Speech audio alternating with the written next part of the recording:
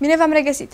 În Ardeal nu mai este o altă comună care în suta cea din urmă de ani, până în 1938, să se fi schimbat așa de radical ca și Reghinul. Cel de azi e în întregime o creație a vremurilor noi. Înainte de 1848, era o comună cu case sărăcăcioase, străzi înguste și murdare. Piața era ocupată cu localuri de vindere a diverselor bresle și de oficii de control a meseriașilor breslași.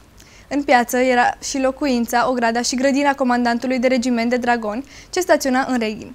Pe străzi erau grajdurile regimentului cu toată murdăria lor. După focul de la 1848, se zidește orașul de azi. Mai multe amănunte despre evenimentele acestei zile găsiți pe site-ul nostru jurnaldereghin.ro Sunt Diana Elișiu, vă mulțumesc pentru atenție. La revedere!